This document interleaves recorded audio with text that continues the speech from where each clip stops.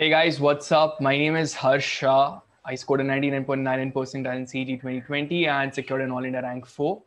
Well, uh, since many days we have get we have been getting a lot of messages saying that so there's a lot of pressure, there's a lot of stress, and there's a lot of demotivation everywhere.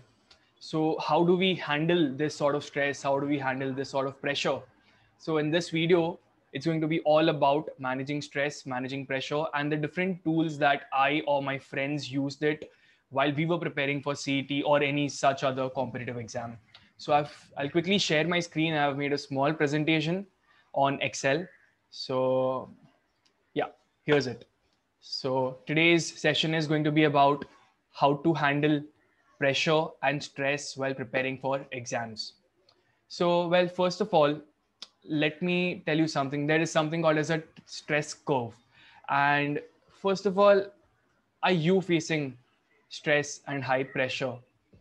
If you are facing, then trust me, it is completely normal because everyone is facing it and you are not an exception. If everyone is facing, it's very normal that even you are facing it.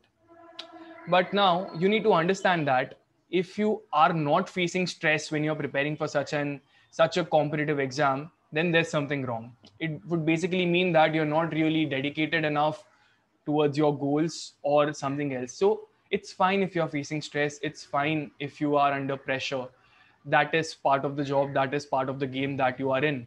So here's the stress curve. What I'm trying to depict over here is that your productivity is somewhat related to your stress. As you can see in the stress curve, your productivity rises with some amount of stress but after a point your productivity will start decreasing so maintaining that optimal amount of stress becomes very important for yourself also so now um, if you have stress if you have pressure do you need to worry? Here's my opinion on it. Here are my two cents on it. Why you should not worry? So first of all understand why are you under pressure or why are you feeling stressed. It could be because of uh, you're not able to understand concepts or uh, you cannot sit for long hours to study or you are not able to get a good score or top ranks in the mocks that you are giving or it could also be because your friends are scoring well and you are not able to match up to them all these things are somehow leading to a lot of stress and there could be n number of such reasons but here's what i would like to say why you should not take stress. Do you have a problem in life? Let's quantify this in a yes or no. If your answer is no, if you don't have any problem in life, then what are you worrying about? Then why worry? Now, let's say if your answer was yes, you have a problem in life, you're facing stress for it, right? If your answer is yes, then my next question to you is going to be Can you do something about it? If you can do something about it, better start doing it absolutely makes sense if you can do something about it yes then why worry? You can do something about it. Do it. And if the answer to this question was no that no you cannot do anything about it. If you cannot do anything about it then again why worry? If you cannot do anything about it then it is out of your hands. Then why worry? I hope this makes sense. Now I would like to come on to some actionable steps that you can, you know, uh, go through to continue your progress in your competitive exam. So first of all is write down your targets. You want to reach somewhere, you will have to write down your targets. You will have to visualize them. You will have to look at them every single day. You need to organize yourself. Now you have written down targets. You have some goals to achieve now it's about organizing yourself to align with those goals. The next point will be to divide your plan into larger goals, monthly targets, weekly checklist, and a daily to do list. So now let's say your target is to crack CET. CET maybe, I'm assuming it's two months away. So your larger goal is two months away. You want to crack CET, you want to score a 99.99 percentile. For every month, for the next two months, what's going to be your plan? for those two months for every week let's say if there are four weeks in a month so for the next eight weeks what things you are you are going to do and for each week what is your daily plan? Monday tuesday wednesday thursday friday saturday sunday what all things are you going to check off your to-do list? And then finally you have to take action. Just making this plan is not going to work. You have to take action and you have to believe in the process and don't hurry to get the results because results will take time. You have got 2 months. This the plan is for 2 months. You won't start seeing the results in a day in 2 days or in a week also it is going to take time. It will be a difficult process. But you have to believe in the process. You have to continue uh, following whatever plan you have made. Now again all these things were about planning and organizing yourself and how a bit of stress is going to help you. But what if you're facing a lot of stress? What if you're facing a lot of pressure? Then here are the tools that i personally used or my friends have used uh, during their preparation phase to handle stress and these are very common things okay? Even you would be aware of it but it's just about making use of such things for a positive or a better growth. The first thing is music. Music definitely helps a lot. It helps you relax. My pick uh, usually i used to hear motivational songs something groovy something lo-fi depending on my mood. But you know it always used to calm me down. If there's a lot of pressure if there's a lot of stress in my head listening to some music some quality music will just relax me now the next thing would be uh, a few songs that i used to love. Some motivational songs. One would be eye of the tiger. You can search for them. Then not afraid by eminem until till i collapse by eminem. So all these songs really used, to motivate me. You can definitely give it a chance uh, you know you can definitely give it a try by yourself. In the comment section do type a few songs that you personally like and you think they are motivating or they help you relax. I think the entire community will benefit out of it well point number 2 will be fitness.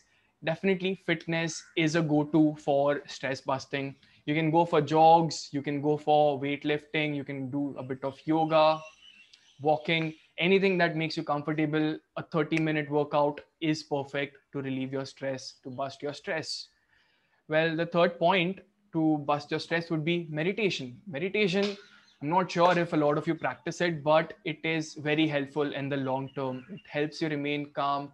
It helps you tackle stress or any anxiety that you might face not just during an exam prep but also after that also after that when you're going in your mba when you're doing your summer internship job etc etc so but here's the thing. You have to practice it every day for 5 to 10 minutes at least. You can start with 5 5 minutes you can move up to 7 8 9 10 minutes. And then if you have time you can go on to 20 30 minutes also. That is completely dependent on you. But my suggestion would be that you have to practice meditation 5 minutes every day. That will bring a big change in the long term. Well along with that breathing exercises will also definitely help you you know stay calm stay relaxed and avoid anxiety of any sorts. And again as i said the results will show slowly but you need to believe in the process. You need to continue with it. And you know it's difficult to continue anything for a long period of time. Meditation if you want to take out 5 minutes every day you'll do it for the first 5 days you'll do it for the first week. But after that you'll be like oh leave it i'm not going to continue. But no you have to continue with it to see the results. It's not going to come up just like that the process is what you have to believe in and you have to continue it for the long term. The fourth i believe the fourth option would be unique. You can follow any hobby. So a lot of people like to paint a lot of people like to dance a lot of people like to sing read play some sport. All these things will definitely help you release stress. Just go out there for 30 minutes a day one hour a day. Practice these things. It will just take your head off education studies and exam preparation. It'll give you some relaxed time you can enjoy yourself and then come back stronger for the next study session that you have. And uh, yeah exactly. So give some time whenever you are feeling low. So such hobbies will definitely help. Um, uh, the fifth point is talk to people. So a lot of time when you are studying it happens that you isolate yourself. Don't do that at all because if you're isolating yourself you're completely alone. You don't have anyone to share your feelings with my suggestion would be that identify one person that listens to you. It could be your parent it could be your friend it could be your best friend girlfriend boyfriend anyone. Just identify one person who listens to you and then just open up and tell them about what you are going through. If you have some sort of stress just tell them why it is there or what you can do to handle it. And take their opinion into consideration also as to what solutions they are uh, um, telling you to implement. And just try and you know work it out.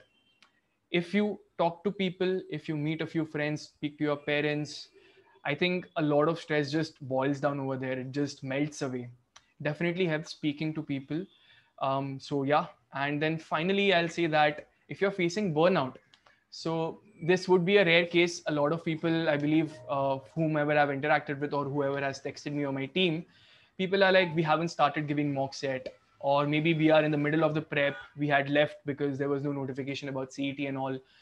But if you are one of those people who were continuously preparing, even when uh, the CET notification wasn't out, and you are now facing a lot of burnout, then my suggestion would be that you take a three day break just take a three day break away from studies don't study for these three days just regroup yourself get your head straight find out what else you can do but don't study for those three days. This will give you a much needed break. And then once you're back from the break i think you have to come back stronger because still you have a battle to win. Um, so yeah with that i think uh, this covers most of the tools that i or my team used to handle stress and pressure. And i hope that this really helps you all.